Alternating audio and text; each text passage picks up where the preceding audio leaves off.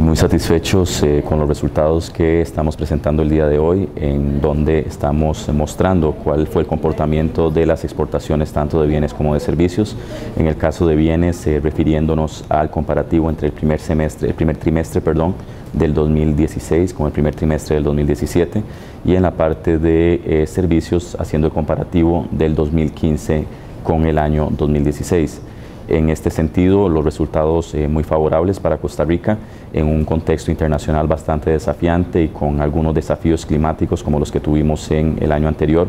Eh, hoy estamos eh, satisfechos de visualizar un crecimiento de un 9% en el sector de bienes, llegando a un monto en el primer trimestre de 2.592 millones de dólares y teniendo en el mes de marzo el récord histórico de exportaciones de bienes de Costa Rica.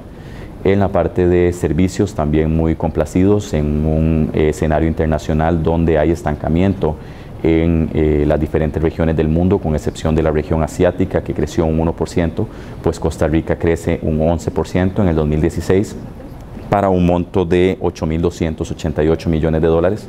que eh, representa un 108% de la meta que nos habíamos planteado para ese periodo y que nos llena de satisfacción y nos motiva para seguir trabajando de la mano con los diferentes actores eh, del sector comercio exterior que son en realidad los que hacen posible que estos números sean una realidad.